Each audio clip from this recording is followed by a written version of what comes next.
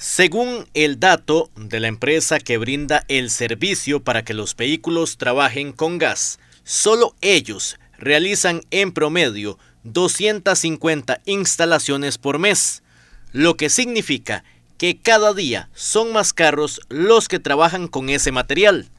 Es por eso que el cuerpo de bomberos realizó un taller para conocer detalles importantes que sirvan para atender emergencias con ese tipo de automotores. Explicar la funcionalidad de lo que es el tanque, de lo que es la multiválvula que lleva en el tanque. Aparte de eso, eh, vamos a explicar un poquito el funcionamiento del equipo.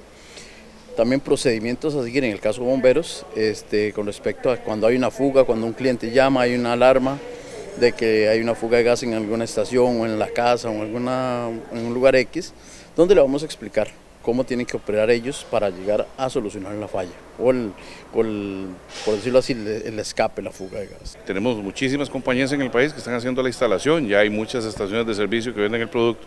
Eh, a lo que entendemos realmente la diferencia en el valor entre la gasolina y el gas es algo que hace que muchas personas inviertan en estos sistemas y pues entonces tenemos más factor de riesgo en la calle eh, en caso de un accidente o de un escape de gas y por eso es importante actualizar los conocimientos en los equipos nuevos y las formas de atender este tipo de incidentes para garantizar la seguridad eh, de las personas que estamos atendiendo y de nuestro personal. Hay un dicho, ¿verdad?, que está dentro de un lema que tenemos, eh, un libro de mando, que dice que si la capacitación es cara, pues la ignorancia todavía es mucho más, ¿verdad?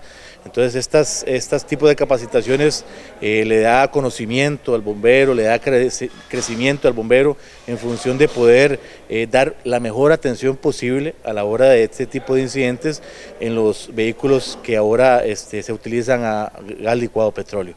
Y es que el costo de operación de los carros es más bajo usando gas y eso impulsa el cambio. Mucha gente utiliza el vehículo para trabajo, entonces el consumo es muy alto, entonces ellos también piensan en el ahorro y este, es un combustible alterno. Estamos hablando de que es una tecnología muy moderna la que se está implementando el día de ahora. Eh, ¿Para qué? Para que el vehículo funcione normalmente como lo funciona en gasolina.